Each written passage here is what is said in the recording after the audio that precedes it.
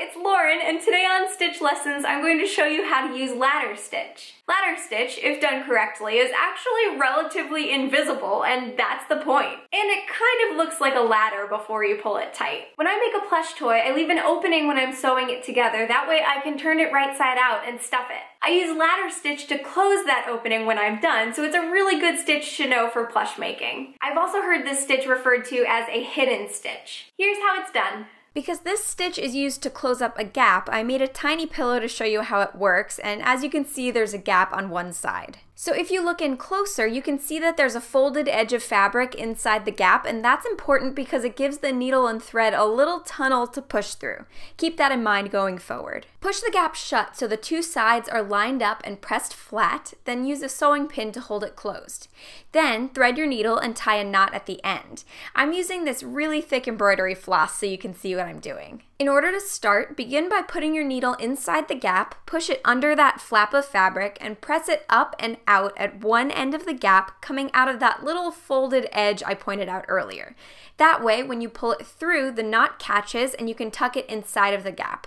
Then turn the whole piece around like this. I just find it easier to work with it this way. For your first stitch, draw a line straight across the gap to find this spot on the opposite folded edge. We're going to push the needle down and to the left so it's going straight through that little tunnel under the fold.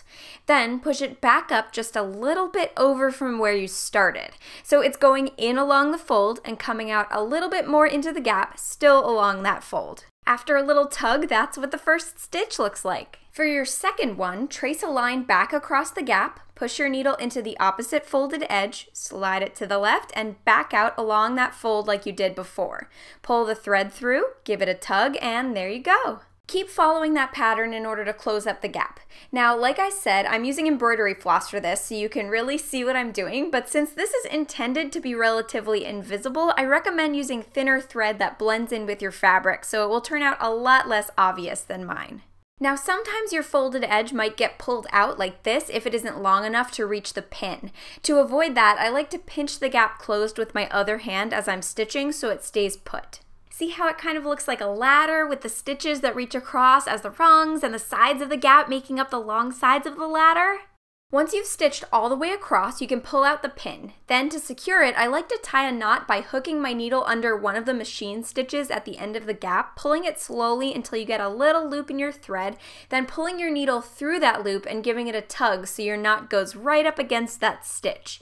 Again, this will be much less noticeable with regular sewing thread. To hide the excess thread, push your needle down into the fabric right where your knot is, then push it into the middle of the pillow and back out over here somewhere. Give it a nice tug, then clip off the excess thread so the rest of it gets lost inside when you let go. When you're all done, it should look something like this. And that is how you sew ladder stitch. Thanks so much for watching this tutorial. I hope you make something lovely with what you learned. If you'd like to see more of the hand sewing and embroidery tutorials in this series, be sure to watch the rest of my Stitch Lessons playlist.